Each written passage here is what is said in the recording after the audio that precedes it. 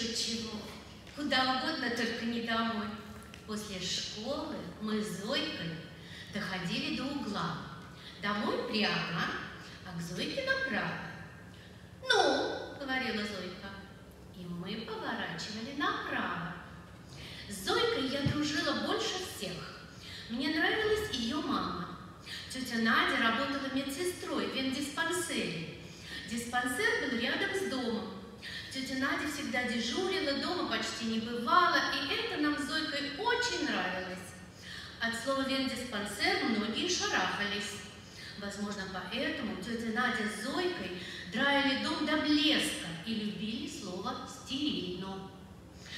Когда я приходила от Зойки домой, мама всегда говорила «Мой руки три раза». Тетя Надя с Зойкой были как две подружки. Она считала Зойку очень ответственной, никогда не проверяла уроки и все разрешала. Жили они в старом доме. От былой красоты осталась мраморная лестница и осыпающиеся кариатиды. Зойкина квартира была в полуподвале. Железные решетки на окнах не давали ворам никакой надежды. А чтобы не видеть шаркающие ноги, тетя Надя повесила тяжелую бархатную штору. Такую же штору она повесила на входной двери. Защита от соседей. О Зойкиной жизни в школе не знал никто. Только мне она рассказала. Шепотом. Во время войны тетя Надя работала медсестрой в госпитале. Там лежал раненый майор. Война кончилась, раны у майора зажили, и они вместе уехали в какой-то сибирский городок. Жили хорошо. Потом родилась Зойка. И тут майора нашла законная жена и двое детей. Он очень испугался. Оторвать майора от жены и детей Зойкиной маме не удалось. И найти Зойке нового папу тоже не удалось. Тогда Зойка с мамой поехали, куда глаза глядят. Зойкин рассказ мне нравился. Правда, она все время меняла звание. Майор, подполковник, полковник. Когда Зойка дошла до генерала, я спросила, так вы богатые? Твой папа генерал? Зойка смутилась и грустно покачала головой. Мы ж незаконные. Так Зойка с мамой оказались в полуподвале. Шесть метров нежилой площади и кухня метра три. Трехметровую кухню они делили с соседом, но насладиться не успели. Сосед ограбил магазин, и его отправили в другое помещение, тоже с решетками на окнах. Вместо него подселили пожилую пару. Ее звали Дора, его Сема. Пара ходила всегда вместе, рука в руке. Были они немногословны и смотрели на все с подозрением. Зойка как-то сразу изменилась, стала приходить в школу грустная, очень грустная и даже заплаканная.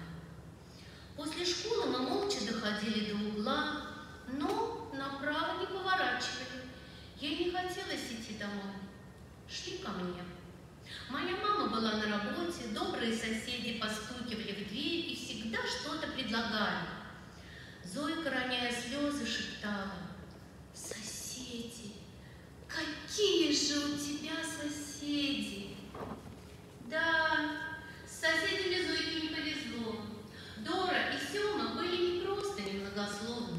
Они кивали утром, иногда вечером. Вот, пожалуй, и все. Правда, между собой они были очень даже многословны. Но понять, о чем говорят, ни Зойка, ни тетя Надя не могли. Понимаешь, Зойка опускала глаза, они говорят на другом языке. На каком? Ну, тут Зойка конфузилась на языке твоей бабушки. Заподрозрить ее я ни в чем не могла. Родилась она в Сибири, там в основном жил единый народ, и мало кто говорил на языке моей бабушки. Ни других народов, ни других языков Зойка не знала. Возможно, догадывалась, что не у всех языков языков и народов равные права, но была в меру деликатна или близорука. «Ну и пусть говорят», — сказала я Зойке, — «ты ж на мою бабушку не обижаешься». «На твою? Твоя же добрая, а они, наверное, злые и про нас плохо говорят». Зойка почему-то и без перевода была в этом уверена. И тогда у нас возник дерзкий план. Бабушка родным. Говорила я, конечно, запинаясь, но понимала все. А у бабушки русский и украинский жила лучшего, но зато еврейский. Особенно ей удавались безобидные проклятия. А план был такой. Я прихожу к Зойке, прячусь за портьерой, она ходит по кухне, Дора и Сёма ее обсуждают, а я делаю синхронный перевод. На всякий случай я заготовила карандаш. Вдруг будет непонятное слово. Потом спрошу у бабушки. Говорила в основном Дора. Сёма только слушал и тяжело вздыхал. Зойка была права. Дора сразу назвала нас сморкачками и сказала, что мы прогуливаем школу. Что было правдой только наполовину, Зойка не прогуливала никогда. А потом Дора сказала, что Зойка мамзер.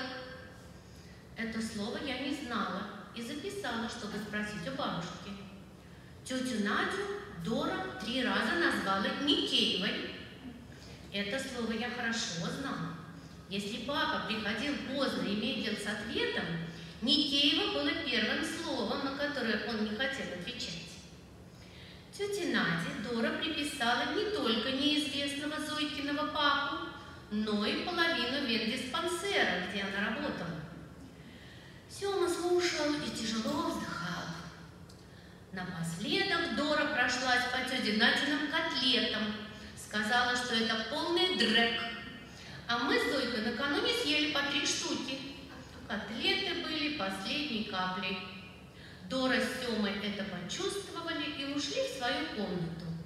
А я стала дословно все переводить Зойке. Что было дальше? Зойка рассказала тете Наде. На следующее утро тетя Надя вышла на кухню и, пока закипал чайник, озвучила мой перевод – сделав упор на ключевые слова. Дора остолбенела. Сема тяжело вздохнул и схватился за сердце. Тетя Надя кинулась к аптечке, отчитала 30 капель и вызвала скорую. На завтра Зойка не пришла в школу, и я шла домой одна. Дошла до угла, хотела повернуть направо, но побоялась. Дома была только бабушка, и я ей все рассказала. Все безобидные бабушкины проклятия тут же обрушились на меня. Потом она долго молилась, наверное, за здоровье Семы. Потом пришел папа, и она ему сразу все рассказала. Папа долго молчал, на меня не смотрел. Оделся, что-то шепнул бабушке на ее языке и ушел. Часа два его не было. Когда пришел, налил стакан водки, и никто ему не возразил. Со мной не разговаривал. А я сидела тихо, в ожидании хоть какого-нибудь наказания. Наконец, папа сел напротив меня, и я поняла, что наказание началось. Я думал, что у меня девочка – а у тебя кто? Не поняла я. А у меня мальчик, засранный пионер-герой по имени Павлик. Ничего пионерского, комсомольского, советского и социалистического папа не любил. Любил только своих и свое. Делиться любил, но не любил, когда забирали. Поэтому мальчика по имени Павлик он всей душой ненавидел. А в нашей школе как раз пионерская дружина носила имя этого мальчика и биографию Павлика Морозова все знали на зубок. Память у меня была хорошая, я стала папе возражать, приводить примеры. Мне твои примеры знаешь где? И папа рукой показал, до какого места ему мои примеры. Сын предал отца, а для меня это... Он поискал глазами стакан. Ничего, надеюсь, папа там с ним уже разобрался. И он рукой указал на потолок. И даже выше. Водка немного сделала свое дело. Он придвинул стул поближе ко мне. Я только что был у них. Он в больнице, а она... И папа сделал безнадежный жест. А что она, испугалась я, умерла? Папа понял, что перегнул с жестами. Жива. Я за тебя извинился. Как ты могла? Хорошие, тихие люди. Ты была у них? Темная комната, метров пять. Пол комнаты занимает портрет сына. Погиб в войну. Единственный сын. Мой однолетка, между прочим. Представь себе, мой однолетка. И я представила, что мой папа не только ранен, но и убит. Убит. А это значит, что у меня нет папы. Плакать я начала так, что прибежали все соседи. Папа клялся, что он меня пальцем не тронул. Бабушка почему-то извинялась, а меня быстро уложили спать. Перед сном папа тихо спросил, ты осознала? Даже не знаю, все смешалось, все. Дора и Сема тихие и хорошие. Их сын, он погиб, и мне их жалко. Но Зойка с тетей Надей тоже хорошие, и их жалко. Папы у Зойки нет, и тетя Надя много работает, и у нее нет никого, кроме Зойки. А они сказали, что она Никеева. Это слово ей никак не подходит. А Зойку назвали Мамзером. Я спросила про это слово у бабушки. Она сказала, что оно нехорошее. А меня они назвали сморкачкой. Может, так и есть, но это слово тоже нехорошее. А папа, он назвал меня Павликом. Какой же я Павлик? Разве я могу предать папу? Или бабушку?